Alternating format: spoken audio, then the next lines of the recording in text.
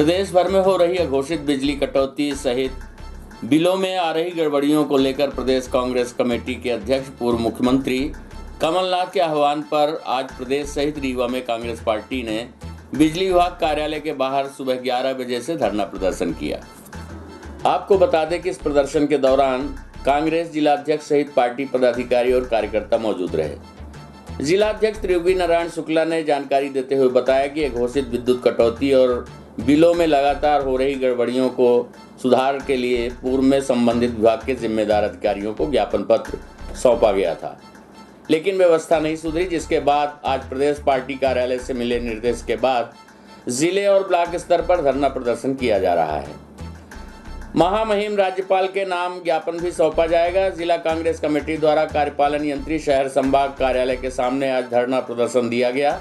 इस दौरान अघोषित विद्युत कटौती और बिजली बिल की गड़बड़ियों को लेकर नारेबाजी की गई।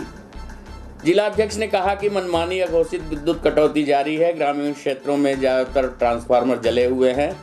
इस भीषण गर्मी में लोगों का घर में अंदर रह पाना मुश्किल हो रहा है। साथ ही पानी की भी जटिल समस्या हो रही है। इसके बावजूद भी बिजली विभाग के अधिकारी इस ओर जरा भी ध्यान नहीं दे रहे हैं। उन्होंने कहा कि अगर इन समस्याओं का समाधान जल्द नहीं किया जाता तो प्रदेश स्तर पर बड़ा आंदोलन किया जाएगा। प्रस्तुत है जिला कांग्रेस कमेटी के अध्यक्ष त्रियोगी नारायण शुक्ला एवं नरेंद्र मिश्रा विद्युत अधिकारी से प्राप्त जानकारी के अंश। लोग के द्वारा धरना प्रदर्शन दिया जा रहा है विद्युत कार्यालय में। क्या इसकी वजह है क्या मांगे? अनाप शनाप बिजली की जो कटौती हो रही है अघोषित जो इनकी कटौती है नियमित कटौती के अलावा और जो अनाप शनाप बिजली के बिल आ रहे हैं तमाम गाँव के इलाके में ट्रांसफार्मर जले हुए हैं, वो नहीं बदले जा रहे हैं। जिसके कारण इतनी भीषण गर्मी में भारी पेयजल संकट उत्पन्न है, लोगों को रहने में इतनी टेम्परेचर में न बिजली रहती है तो लोगों को भारी संकट से सामना करना पड़ रहा है। इसके लिए मध्य प्रदेश कांग्रेस कमेटी के सम्मानित अध्यक्ष कमलनाथ जी का आह्वान है, आज पूरे प्रदेश में विद्युत वितरण केंद्र जितने हैं, चाहे शहर में हो, चाहे ग्रामीण इलाके में, ब्लॉक के इलाकों में, हर जगह आज ग्यारह बजे से कांग्रेस पार्टी के सभी सम्मानित साथी सरकार को जगाने बिजली विभाग को जगाने के लिए धरने और प्रदर्शन पे धरने आंदोलन पे बैठे हुए हैं तथा सभी लोग ज्ञापन सौंप रहे हैं कि कम से कम ये यही है ज्ञापन इसी का है ज्ञापन। राष्ट्रपति राज्यपाल के नाम से ज्ञापन है कि अघोषित कटौती बंद हो अनाप शनाप बिजली के बिल आना बंद हो जले हुए ट्रांसफार्मर बदले जाएँ इस जिसलिए जनता को निजात मिल सके। मांगे अगर नहीं पूरी होती है तो नहीं आगे पूरी होगी तो पूरे प्रदेश में बड़ा आंदोलन चला जाए चलाया जाएगा। ग्रामीण इलाकों में ज़्यादा और ग्रामीण ग्रामीण में भी बड़ी खराब है शहर में भी खराब। ये कहा ही नहीं जा सकता कि कहाँ ज़्यादा है कहाँ कम है। इनके बस कहने को है बात कुछ दूसरी करते हैं ज़मीन में कुछ नहीं है।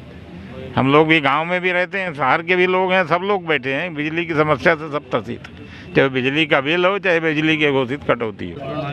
इसमें तो क्या, पहले तो शहर में कोई घोषित विद्युत कटौती है नहीं। जो भी है, वो कहीं फॉल्ट आता है, उसके कारण विद्युत कटौती है। विद्युत कटौती भी उसको नहीं कह सकते, एक shut unplanned shut down type में हो जाता है वो। उसका कार्य करने के लिए अगर कहीं समय लगता है तो थोड़ा सा समय अपन को भी व्यतीत करना क्योंकि इतनी भारी गर्मी में हमारा लाइन कर्मचारी भी वहाँ खड़े होकर काम करता है, खंभे में भी चढ़ता है। तो हम लोग स्वयं चाहते हैं कि उसका जो समय हो, कम से कम हो।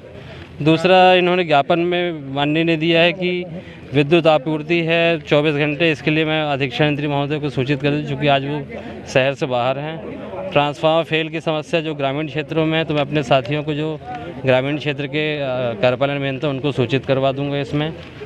और जाओ आपका बिजली बिल लेके है तो बिजली बिल लेके शहर में तो उनका सुधार कार्य है और इस बार मीटर रीडिंग भी कुछ चेंज करके अपन प्रयास करते हैं कि उनके निराकरण किया जा सके। बाकी तो ठीक है। ये कि ये ग्रामीण का। एक निश्चित समय एक इसको होना क्या ये माना जाता है क्या। एक निश्चित समय आजकल कहीं कोई बिजली कटौती का है नहीं शहर में तो कुछ नहीं है। मिश्रा जी जी। जिस समय